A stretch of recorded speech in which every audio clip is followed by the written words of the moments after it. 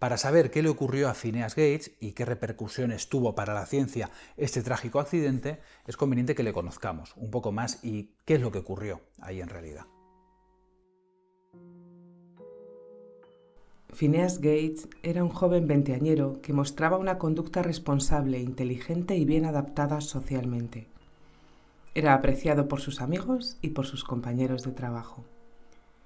Phineas era un hombre religioso, respetuoso y familiar. Un hombre que nunca mostró conductas de inadaptación social.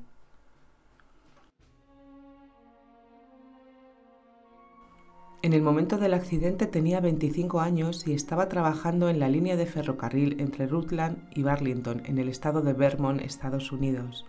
Phineas se encargaba de las explosiones para nivelar el terreno y poder colocar los nuevos raíles.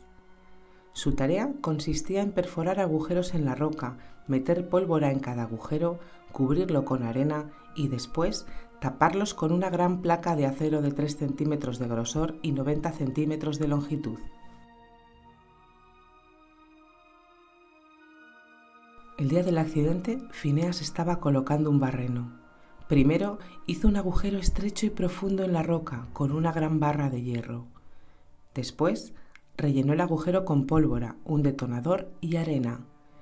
Finalmente apretó y compactó la carga con la barra de hierro. Inesperadamente, a las 16.30 horas, la carga explotó.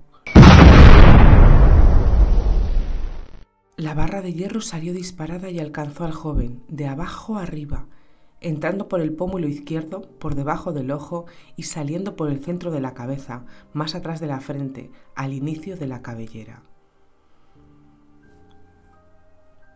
La explosión dejó a Phineas inconsciente, tendido en el suelo. La barra reposaba a unos 30 metros, manchada de sangre y con restos de cerebro.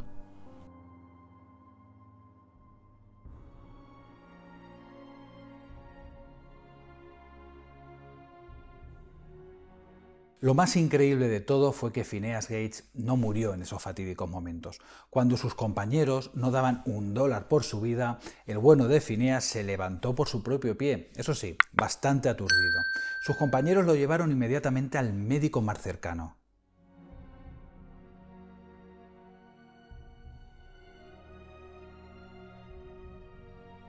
El doctor John Martin Harlow curó a Phineas de su herida y le trató durante varias semanas, hasta que se recuperó y pudo regresar junto a su familia. Phineas terminó de sanar. Sin embargo, la familia comunicó que, aunque físicamente parecía recuperado, su carácter había cambiado bruscamente.